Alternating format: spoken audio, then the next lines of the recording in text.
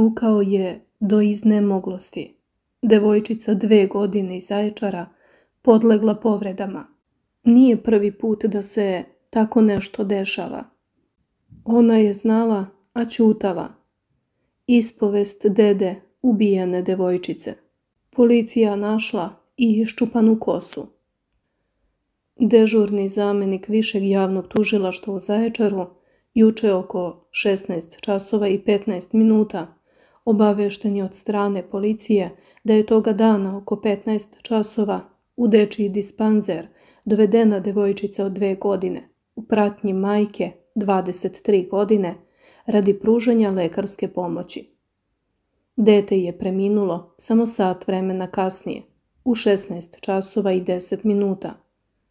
Po nalogu tužioca u Zaječaru određeno je policijsko zadržavanje od 48 sati očuhu deteta od 26 godina zbog nasilja u porodici dok je majka u pritvoru zbog napuštanja i zlostavljanja deteta. Tužilac je naredio obdukciju devojčice na Institutu za sudsku medicinu u Nišu. U međuvremenu isplivali su i detalji stravičnog događaja. Devojčica je stigla u bolnicu sva modra, sa vidljivim povredama i prelomima. Devojčica, za čiju su smrt osumnječeni očuh i majka, bila je sva modra po prijemu u bolnicu i sa vidljivim povredama i prelomima na telu. Ona je dovedena u bolnicu sa teškim povredama. Lekari su pokušavali reanimaciju, ali nije joj bilo spasa. Policija je u Zaječaru uhapsila očuha iz okoline Vlasotinca i majku iz Zaječara zbog sumnje da su tukli do smrti njenu dvogodišnju čerku. Mladić se sumnječi da je u iznajmljenom stanu u Zaječaru više puta po glavi i telu udarao dvogodišnju čerku svoje vanbračne supruge i teško je povredio, a dete je prevezeno u zdravstveni centar u Zaječaru gde je preminulo. Majka dvogodišnje devojčice je, kako se sumnja, znala da je njen vanbračni suprug u prethodnom periodu tukao devojčicu, ali to nije prijavila policiji. Ceo nesrećni slučaj prijavila je tetka malene devojčice koja je slučajno prolazila u momentu kada ju je očuh krvnički tukao.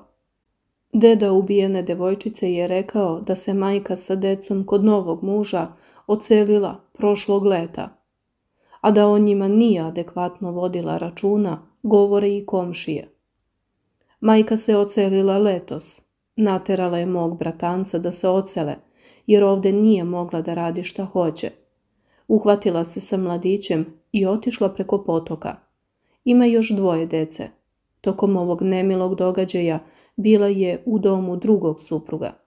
Čujem da ju je tu kao očuh, kaže rođak. Kako rođak tvrdi, poznato je da je mladić koristio nedozvoljene substance. Prema navodima novinara sa lica mesta, po selu se priča da je tetka zatekla očuha kako tuče devojčicu i da je majka u tom momentu bila pored nje, ali nije reagovala. Rođena sestra je slučajno prolazila kolicima kada je očuh udarao devojčicu, a majka je navodno bila tu i ništa nije preduzimala.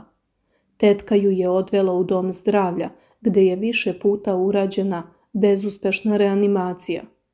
Sve se to dešavalo u večernjim satima.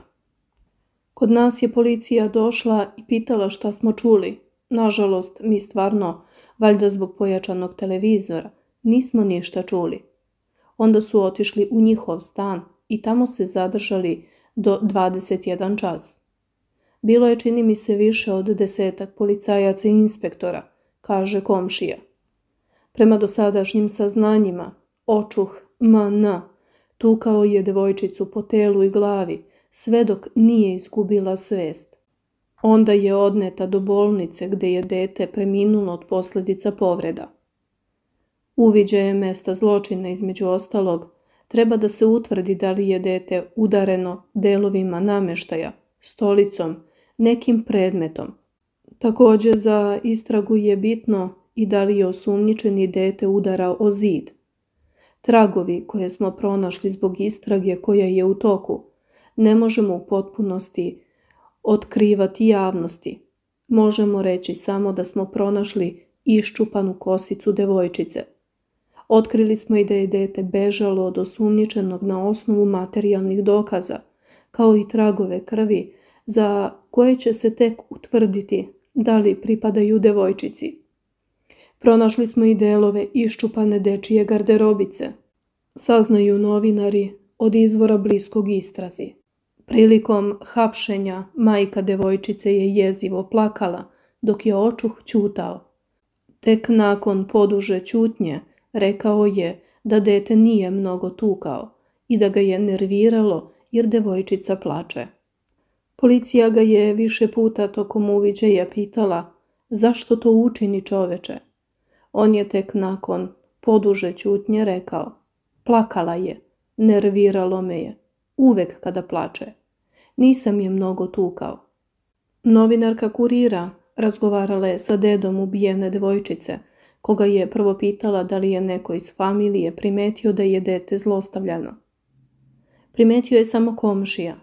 Moja čerka izjavila da je beba pala i da se tako ubila, rekao je devojčicin deda, NV.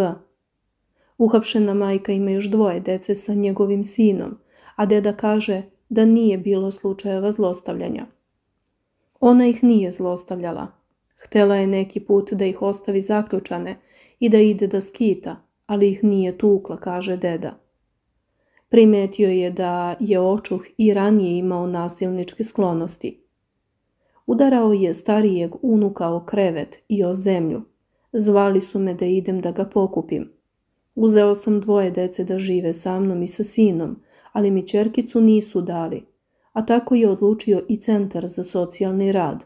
Ali rešenje još nismo dobili, priča deda. Dodaje da je trebalo da vidi kobnog dana devojčicu kada se desila nezapamćena tragedija. Pre mjesec dana sam je video posljednji put. Juče sam hteo da je vidim, ali mi snaja nije donela. Sada ću da je vidim u sanduku. Ubijeno dete je prevremeno rođena beba u osmom mesecu. Išla je tri četiri puta za Beograd kako bi je spasili. Posle je lepo napredovala ali nažalost sada nam je dom zavijen u crno. Idemo po običaju, sahranit ćemo je i borit ćemo se da druga deca žive sa mnom i sa sinom, a ne sa nekim koji ih maltretira. Zbog ubistva devojčice u Zaječaru hitno se oglasio Centar za socijalni rad. Kažu da je Centar za socijalni rad u Zaječaru obavešten od strane nadležnih organa o smrti maloletne devojčice – i odmah je reagovao u okviru svojih nadležnosti. Porodica maloletne devojčice je na evidenciji ovog centra bila po raznim osnovama još od 2016. godine, tako da je Centar za socijalni rad kontinuirano pratio ovu porodicu u postupcima koji su povremeno vođeni, preduzimajući sve mere i svoje nadležnosti, navode u centru u kojem izražavaju duboko žaljenje zbog smrti maloletne devojčice i očekuju da nadležni organi vrlo brzo utvrde sve činjenice. Centar naglašava da u dosadašnjem radu sa porodicom nije bilo prijava za zanemarivanje i zlostavljanje dece, niti je neko od roditelja bio prijavljivan za nasilje u porodici u odnosu na decu. A kako saznajemo, Očuha je ranije prijavio penzionisani policajac zbog zlostavljanja psa. Znam da ga je komšija prijavio jer je mučio psa, kanapom zavezao noge da ne može da hoda. Zatim je tog psa tukao i bacio u obližnje dvorište jedne napuštene menze gde ne prolaze ljudi. Pas je cvileo i zavijao, a on ga je šutirao, a zatim tu ostavio da umre od gladi i žeđi. Srećom, Komšija je to video, oslobodio kuće i prijavio ga. Pričaju komšije.